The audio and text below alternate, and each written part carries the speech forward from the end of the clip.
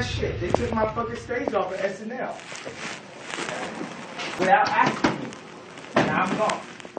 That and Taylor Swift, fake ass. Y'all ain't gonna do this. We breaking the motherfucking internet. I've been through six years of this fucking shit. Let's get to it, bro. Get to it, bro. Are they fucking crazy? Bro, by 50%. Stanley Kubrick.